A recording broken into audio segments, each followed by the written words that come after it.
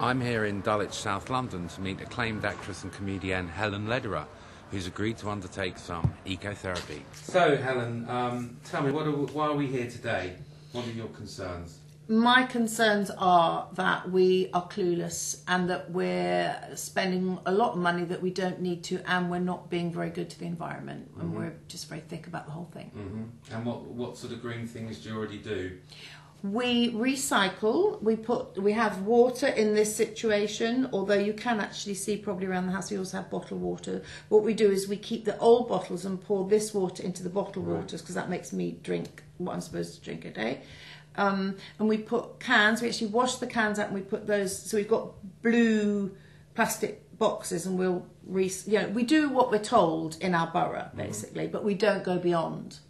Don't know enough about climate change, know that it's a problem, know that it's probably good for growing wine in England, uh, but beyond that, um, I think we've got a lot of problems, and I'd be very, very keen to um, be a kind of good person in quotes and uh, you take it seriously. I think it, it's got to start s- uh, from inside and then should have bigger repercussions. But actually, because I live a mad life, I don't take it on and I don't listen properly, and I'm suspicious of gadgets. Your last electricity bill was £356 for a quarter. That is a lot of money, isn't it, to spend on electric lighting, I guess, and computers. Mm-hmm.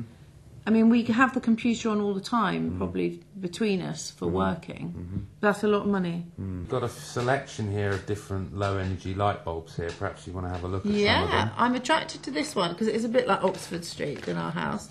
Um, now this is pretty. This is. Wonder what is that? Obviously, ecological yellow paint on that. Is that to give it a nice kind of amber glow? Yeah. I'm liking that already. Okay. And that because I have a lot of lights that take these little sweet little bayonet things. Mm-hmm. That's pretty. I, I'm optimistic about that. Okay. And what's good about that one then? Well, obviously, it uses about a fifth of the energy of a normal one. And the thing about normal um, light bulbs is they waste most of the electricity. So these ones use a lot more, and they also last a lot long, longer. This one has a, a bulb life of 8,000 hours.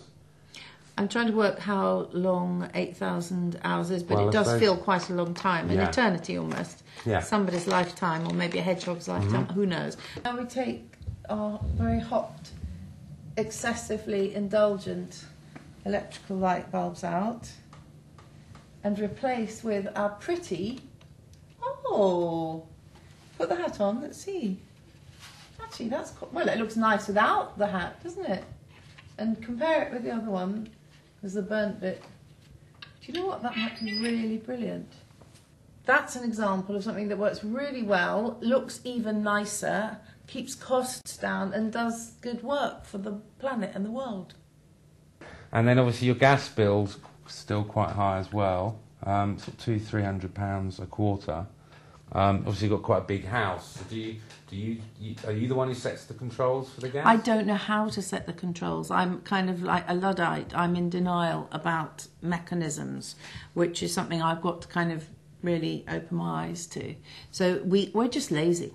What we've done is we've set a system and we should change it. hmm So you just left it as it ever, forever. You bet. Because the thermostat says it's about 24 degrees in here, which is at least three degrees higher than comfortable. The normal And, behaviour. and your, ga- your heating isn't even on at the moment from your radiators, so it's probably likely that you're in a very warm Oh. place. And you've And- got, you know, you've got quite a big house. That's very mad and very Mm. unhealthy. And we should just put a jumper on, shouldn't we? Yeah.